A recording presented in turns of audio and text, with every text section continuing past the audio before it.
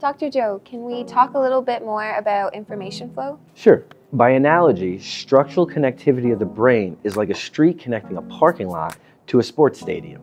Functional connectivity is the correlation between the changes in the two locations, whereas effective connectivity measures the direction and the magnitude of the flow of the people that travel between the two locations.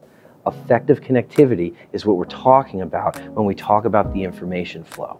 Recent research also shows that enhanced information flow actually correlates to higher IQ. This is super exciting for neural performance. In our observations, we can see indications of improved information flow in people using the eSmartr sleeve. The conclusion was profound. The subjects are displaying increased cognitive potential. This is a game changer for education, learning, gaming, sports. Imagine you're actually reaching your true cognitive potential without drugs, without electricity. eSmartr. Play, learn, create.